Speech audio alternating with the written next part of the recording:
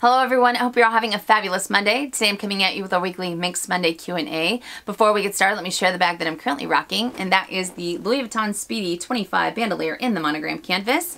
Uh, Alright, so grab your coffee, grab your tea, let's start your workout, let's go to work. Whatever it is that you do, come join me. We have some awesome topics to cover today. First things first, I have to say a huge thank you to every single one of you guys for leaving such positive and uplifting thoughts uh, for Courtney on my last MMQA. I was reading all of the comments and just the support was just incredible to see. So thank you guys so much for that.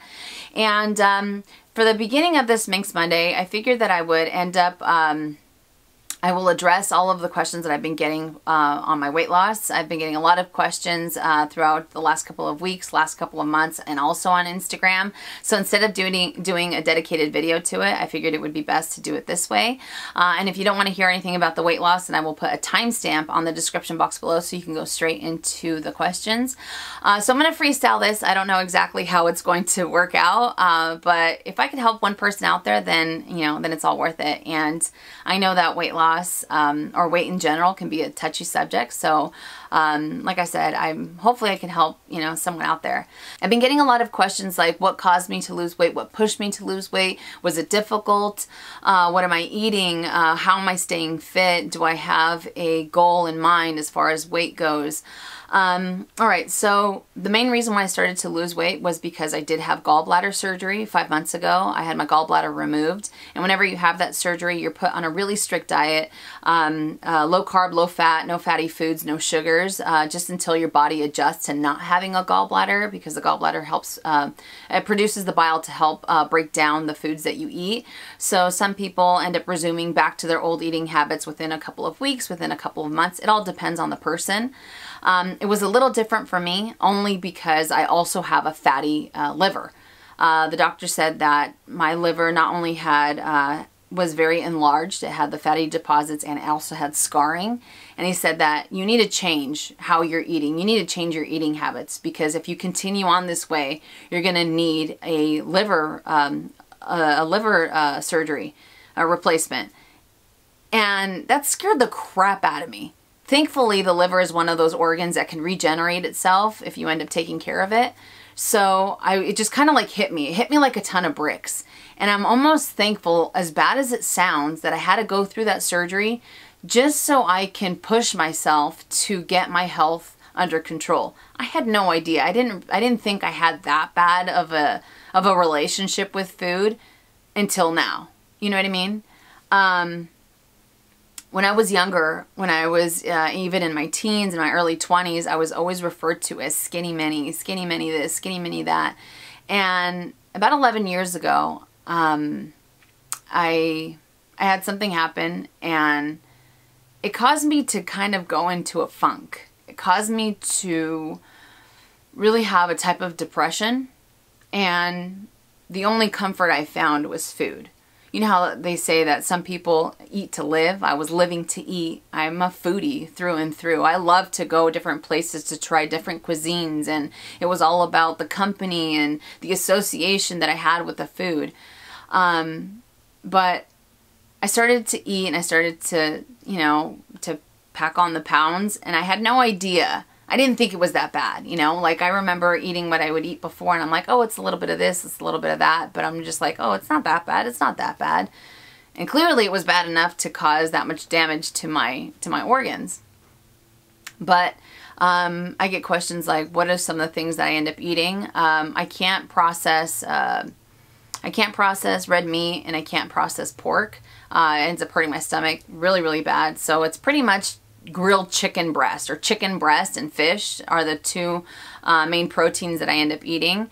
Um, we found different ways to prepare chicken, it seems like, because uh, Robert has been such a rock throughout all of this. He also took to, um, to eating the way that I'm eating. Uh, so both of us have actually lost weight and we're trying to, to get healthier. Um, but uh, it's a lot of uh, vegetables. It's a lot of fruits. Like I said before, no no junk food, no fast food or anything like that. A ton of water. And I don't like water. I can't stand water. All right. And I know everyone's like, oh, it's so good. I just I don't like the taste of water. uh, but I'm drinking a lot more water and um, multivitamins that I didn't take before or anything like that. Um, but uh, I also, what are some of the things that I end up doing to keep fit? I do, I run, I walk uh, pretty much every day, and I do a lot of uh, dancing. I love to dance. I do a lot of intensive cardio. So that's really what I end up, what ends up working out for me. I am not a gym person. I don't like gyms. I feel very, I don't know. I don't, I just don't like being um, doing weights here. I don't like doing the treadmill. I don't like doing that. I don't like being in one spot. For me, being out and about, walking or running or doing all these other things is a lot better. Um, so that's what I end up sticking to. Uh, but even with the weight that I have lost, I don't see it. I don't see it. When I look in the mirror, I see that maybe I've lost two to three pounds. And when I tell people, or like when people ask me, you know, how much weight have you lost? And I, and I tell them, they're like, oh my God, no way. I didn't know you were that big before. That's crazy that you've lost so much weight. And they put such an emphasis on some of the words. And it really does a lot for your mental state because I'm thinking, was I that bad before? Was it that, was it like this? Was it that? You know, and I don't see the weight loss. I see, like I said, the two to three pounds. Um, so doing like outfits of the day or doing clothing hauls, I feel very, very uncomfortable because I don't see, I don't see this many. I see old many, you know? And, um, when I, when I do do outfits of the day, I push myself to do it because I want to I want to get in a healthier state of mind. So not only for my body, I want to do it for for my for my own sanity. You know, so I want to do more outfits of the day to push myself to get myself out of that self-image that I have. Um, you know, my mom's always telling me, "Oh, you look so good. You look so great." And she's so supportive, and all of my family is. Um, but even with everything that I hear, I don't see it. And until I see it, that's when I'll feel comfortable. Uh, so clothes shopping was always a nightmare. Hated it. Going to buy jeans was the worst. Um, you know, but I found something that works for me. And like I said, for me, it's about getting my liver under control and being healthy. And the positive is the weight loss, if you will. Um, but it's all a matter of what ends up working out for for you. And you know, it's not, like I said before, I don't really like to associate diets. I'd rather do a lifestyle change because for me, it's about something that I can do for the rest of my life. I can't do a certain diet that you can only eat two or three things on that diet for the rest of my life. It, that doesn't work for me. That's why I always end up falling off the wagon. So now I feel like um, whatever what we're doing as far as exercising and eating better, I can do that for the rest of my life and before I would say, I don't want to work out because it's too cold. I don't want to work out because it's this. It's, and I'd always put up excuses. And now I'm, I'm, i might still end up drag my feet and say, I might end up dragging my feet and say, I don't want to work out because of this. But I push myself to do it because after I do, I feel really good. I feel like I have more energy. And I feel, I don't know, I feel like slowly but surely I'm getting to a different state of mind. And that's what I really like. Um, you know, but it's definitely what ends up working out for you. Um, and now I feel like I can taste the food. Like I feel like I can taste the avocado. I can taste the chicken breast. Whereas before, it all started to taste the same. I don't know.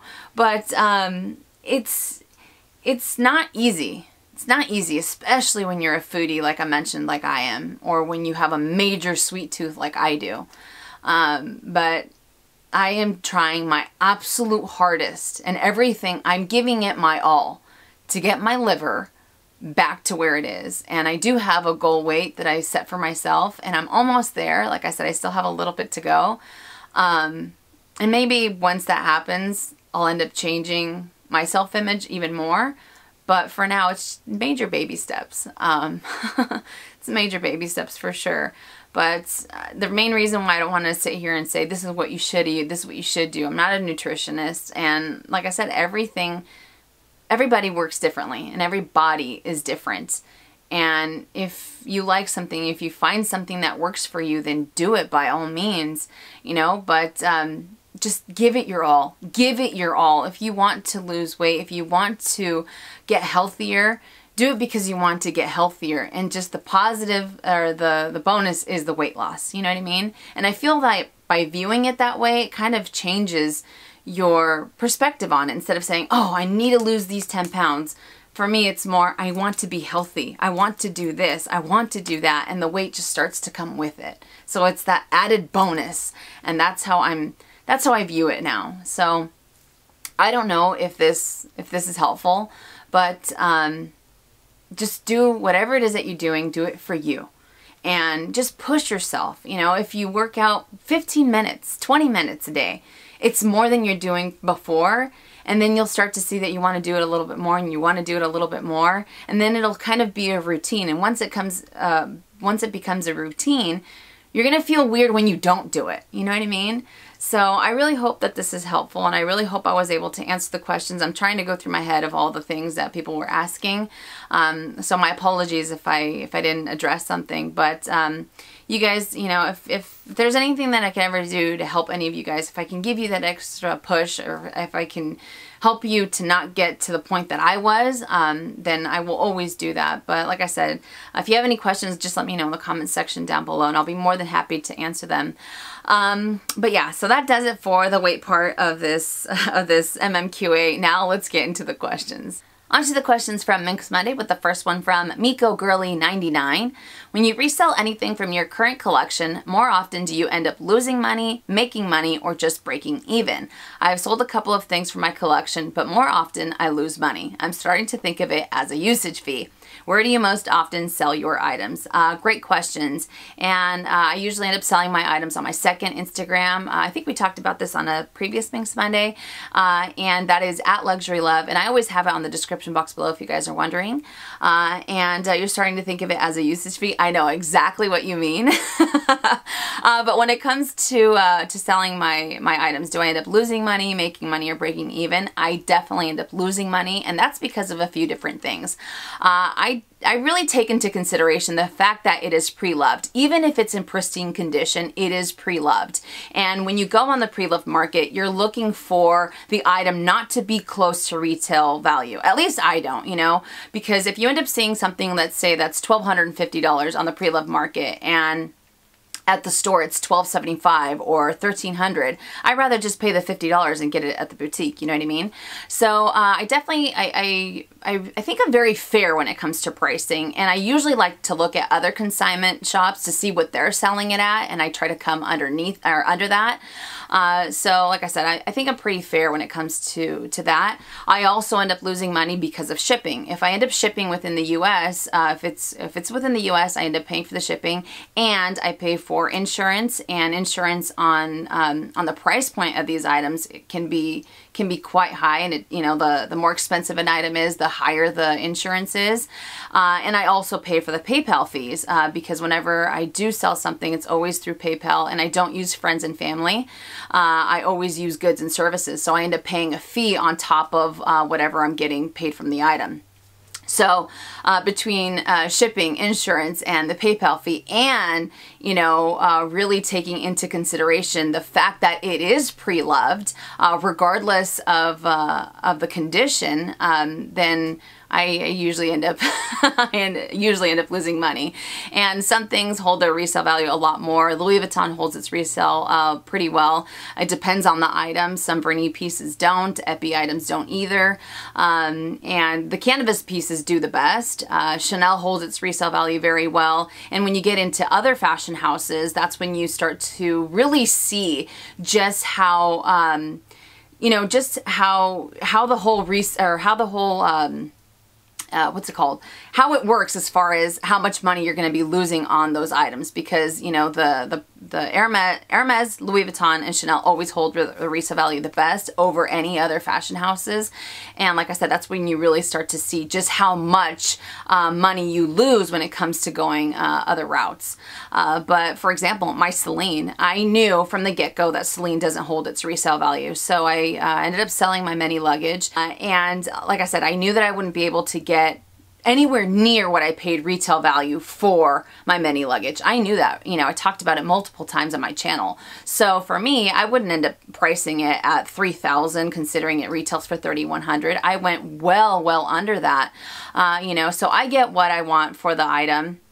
I think it's very fair and um, you know the person uh, is really excited about the item so that always makes me happy. I did have someone ask once upon a time if I would end up selling my items more because I'm a YouTuber I and that's definitely something that I don't do. Um, this is a hobby and I, like I said, I, I take a lot of things into consideration when it comes to the pricing and things like that. So no, I will never upsell anything because of, of my YouTube channel or anything like that, you know, unless it's something that's crazy, crazy limited, like something that they only made 10 of in the US or, um, you know, you, you can't get it because of X, Y, and Z or this, this, and that. Then uh, the price might be a little bit more, but never the same as retail value. Never, never. It, this, that's not what, you know, I'm looking for that deal. And that's what it comes down to when it comes to pre-loved goods. You want the deal. You don't want to pay for something that's retail price. You know what I mean? so yes, I do end up uh, losing money, but it's all a matter of, um, you know, the amount of money that I lose depending on the uh, on the fashion house. So hopefully that was able to answer your question. But like I said in the, in the beginning, I know what you mean as, as far as the usage fee. Next question from Bridget Nathan. Hopefully I said that correctly. Uh, can you tell me what you think of the new Graceful from Louis Vuitton? Uh, wonderful question. The Graceful from Louis Vuitton was recently launched. I believe it's now been about a week, maybe a week and a half. And uh, I will either insert a picture now. If I don't do that, then I will put a link on the description on the description box below where it says eye candy. That's usually what I end up doing so you guys can check it out. Uh, but the Graceful is available in two different sizes if I'm not mistaken. I didn't see a GM, so please don't quote me on that.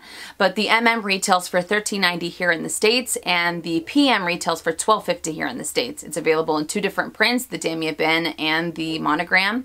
Uh, so it is a canvas bag. Uh, now there's a few different things that I like about the Graceful. I think that um, I would I would kind of consider it a um, it, it kind of reminds me of the, like an artsy and a Galliera like if they had a baby, that's what the graceful is. That's what I envision it as, you know what I mean? Uh, but uh, there's a lot of people that are raving about the graceful because uh, it does have the magnetic closure. It also comes with a flat shoulder strap, so I think that it'll make for a more comfortable handbag. Now, even though this bag is considered a hobo, I feel that it ends up holding its structure a little bit better than most other hobos out there, uh, in particular the Sully. Uh, I had the Sully and I fell in love with the bag in the beginning, but then it just kind of really lost its shape and I don't I don't foresee that happening too much with the graceful. Like I said, it even though it is a hobo and it is slouchy, it's still somewhat structured. Um, but it also comes with this really cute luggage tag charm on the side. I'm just like, that is amazing. so uh, I think that this bag offers quite a bit for the price point that it has and the fact that it is very uh, similar. It, like I said, it reminds me of an Artsy without that crazy price point that the Artsy has. I think that a lot of people will end up loving this bag because of the comfort that it has and the fact that you're able to open everything up and see everything at a glance. Uh, so, uh, you know, know, it's not for me only because of the hobos that I've bought in the past and I don't have any hobos in my collection anymore uh, because I just don't like that they slouch too much. It's a little too slouchy for me. Even with the fact that this one might hold its structure a little bit better, it's still not... Um, you know, I've kind of uh, gone away from hobos in general. Uh, but uh, like I said, I think it's a beautiful bag and it has a great, great price. And um, I, I really foresee this bag being very, very popular within the next couple of weeks, just because also how lightweight it is. Uh, it's not heavy at all, uh, so that's another great feature that it has. So uh, not for me, but I think it is a, uh, I think it's a really great bag, and uh, I also feel that it's it's simple, but it's not it, I don't know, it's simple, but it has just those extra little features, those little details that really add to the overall look of the bag. Uh, but uh, hopefully I was able to answer your question. Next question from Island Girl 8. What are your thoughts on the Lady Dior? I've admired it for years, but never pulled the trigger. I just felt it was a little too boxy, fussy, and formal for my lifestyle. However, the new Supple Lady Dior is stunning and seems to solve the issues I had with the original classic. Would you invest in a bag that deviates from the classic version? This is a fantastic question, and I agree with you 100% when it comes to the Lady Dior. Um, I had it on my wish list once upon a time. I loved the idea of it, but I also felt that it was a little too boxy. Even though I am one that appreciates structure in a bag, I just felt it was just a little too much, you know what I mean? Uh, but the supple version, I think just kind of, um, it's almost like they you know, I looked at the Lady Dior and I was thinking, oh man, I really wish it had this. And then the supple Lady Dior came out and that's exactly what it was. So for me, it really checks off all those marks that were, that I was a little hesitant on before with the classic version of the Lady Dior. Uh, so I'm all for it. So what I end up deviating from, um, would I end up investing on a bag that deviates from the classic version? Absolutely, especially for the reasons that I said. If there's something about the bag that you really like, but let's say that you would, you know, you're thinking, oh, I really wish that they would tweak the strap, or I really wish that they would do this, or if they ended up doing uh, small changes and then introduce that, then absolutely I would, hands down, because it's really what ends up working out for my lifestyle. So if the seasonal version or if the uh, non-classic version works out better than the classic, uh, I know that I'll get more use out of this one versus the classic version, you know? And I'm all for classics. I appreciate classics. I, I mean, I love the history and I love what they bring to any collection. But at the end of the day, it's all a matter of if that bag works out for your lifestyle or not. So the Supple Lady Dior, I am all for it. The leather looks amazing on it. I, I absolutely love it. Even though I am also a big fan of the classic lambskin, the supple version just, I don't know, it has that different, it gives it an overall different appeal, a different, um, a different look that I feel makes it makes the bag a lot more casual. And I think that's what I appreciate about it the most. So definitely hands down I would end up uh, going for something that's non-classic if it had the tweaks that I was really um, that I was really looking for. So hopefully that was able to answer your question. Uh, all right next one from Stephanie K. What are some of your non-luxury prized possessions? No jewelry bags in the equation Oh man, this is a great question. Um, I actually have a lot of little knickknacks that I hold very near and dear to my heart. Yes, I love my handbags. Um, and like my wedding set and jewelry pieces that I've gotten from my mom or, or you know, from, from family members. Um, but I like, some people might think it's kind of ridiculous, but I like the smallest, the smallest thing. Um, for example, I have, um, I have notes and letters that Roberts would put in my lunch bag. Uh, he would put them in my car on my windshield and it would just be something like, um, you know, I hope you have a great day. I love you. Something so simple, something so small, but I have kept every single one of those letters. Uh, so I have them in a box. It's almost like a, um, what do people call it? Um, not a memory box. I forget the name. There's a specific name that people give a certain box that they put all their items in. I, I don't know the name. I forget. uh, but I have I have every single one of them. Uh, you know, we've been together quite some time, so I have quite a few of them. And there's also something else that um, I keep, and those are corks. Now, whenever we have a special occasion, if it's for Valentine's Day, birthdays, um, any type of special occasion that we have, if we end up drinking champagne or if we end up having a bottle of wine, uh, of course I used to, um, you know, used to be able to drink those a little bit more before, but I always keep the corks. And I end up putting the date on there and just a small like abbreviation for what it was for um, because it just brings me so much joy, you know, whenever I see them and I have them in this, like, like in this jar. Uh, and every time we have, like I said, a special occasion or anything like that, the cork goes in there. It goes in there and I've been doing it for years. Uh, so 10 plus years worth of corks that I have. Uh, but I don't know, I just, I like it and it's something that's small so that to me is a major prized possession that I have uh, because of all of those memories and of course I hold the memories in my heart but I like having them on something tangible such as the cork. Um, and an another one that I have is the canvas um, that Robert gave me for my birthday last year, and that was a picture of Edward that I had, and Edward was wearing a tie. I would take it down so you guys can see it if you guys haven't, but uh, it's actually in my living room and I can't reach it.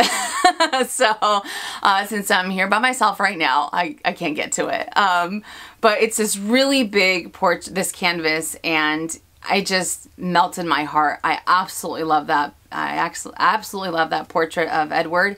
And um, I know that that's one of the things that would come with me no, ma no matter what. Like if there was a fire type of thing, type of situation, that's one of the things I would end up grabbing. So those are some of my prized possessions. Like I've said, you know, I like the, the luxury bags and I like um, other luxury pieces and stuff like that. But for me, it's the other small, like everyday items that really have a lot more meaning, you know, for me anyways. Um, but I have a lot more. i have told you before, I'm kind of, I'm kind of a pack rat, so I have a lot of things that, that I hold near and dear to my heart. Um, I mean, I'm not saying I have like boxes and boxes in my room or anything like that, no, but I have a lot of items that I've held on to, um, you know, for, for so many years, so just to name a few. and the last question from Lux Lab Life. I'm getting married next month and the fiance is supportive of me doing some luxury shopping on our honeymoon. I've been drooling over the Speedy B and Damier Ebene, and there's a Louis Vuitton walking distance from where we are staying. However, his grandma, as a wedding gift, booked us a week at her Hawaii timeshare for a one-year wedding anniversary. At that point, we will have been together for 10 years. We're getting married on our nine-year dating anniversary. I'm tempted to wait until we go to Hawaii next year and getting a limited edition bag. It's just with canvas becoming more difficult to find, I'm worried about not being able to get the Speedy B. Plus, I don't like most of the Louis Vuitton limited edition pieces, so it would be risky to wait. What if I don't like the limited edition next year, if there even is one? Any input on this? WWMD what would Minnie do? I absolutely love that. very, very cute. Uh, well, first and foremost, major congratulations on your upcoming nuptials. That is awesome. I love the fact that you guys are also getting married on your dating anniversary. Uh, that's what Robert and I did, and it really keeps um, it really keeps that date very, very special. So that's that's awesome. Uh, all right, so would I wait for Hawaii to get a limited edition piece, possibly if you like it, or would I get it on my honeymoon? Hands down, I would end up getting it on my honeymoon. Um, and only because of what you said, it would be risky for you to wait to go to Hawaii uh, to see the limited edition pieces that they have uh, because you might not end up liking it and by that point um, it might be even harder to find the speedy Bandoulière that you're looking for. Uh, and um, you know like for example with the Hawaii pieces, last year's I really liked the V with the hot pink. I thought it was amazing and then this year they had the Tahitian, um, they had the Tahitian green and I bought the mini Pochette when, when, when we were in Hawaii. I ended up returning it while we were there because it's a lot of green to commit to. And I'm not really a green person and I'm not really an orange person. And those are the two colors that are very, um, you know, that, that are most on that item. Um, so it didn't end up working out for me. So who knows, next year they might have something completely different. They might have something a little bit more, um, you know, it might be something that maybe wouldn't work out for your collection. But the main reason why I would end up getting it on your honeymoon is because you're attaching an amazing, an amazing memory to that Speedy B. So you'll remember exactly where you got it, when you got it, you got it on your anniversary. And I am all about that. I'm all about the meaning behind the item uh, and being able to get it uh, at such a special moment. Uh, plus, like you said, um, if it's if it's getting harder and harder to find the canvas pieces now, if you're you're able to get it while you're on your honeymoon, then you don't have to worry about um, you know, about finding it later on or what if it becomes super, super scarce type of thing.